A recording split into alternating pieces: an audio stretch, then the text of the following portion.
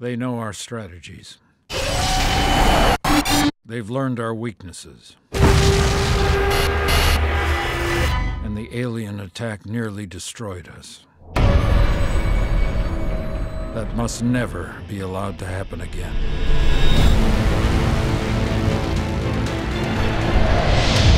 If we're going to survive, we need a new kind of soldier. One who doesn't think the way we think. Fear the things we fear.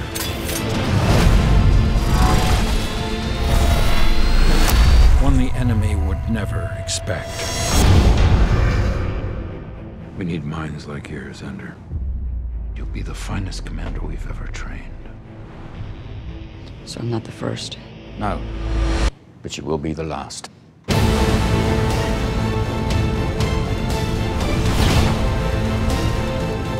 Everything I can to win this war.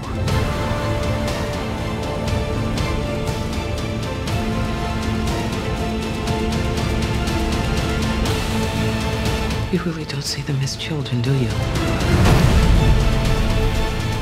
If you succeed, You will be remembered as a hero.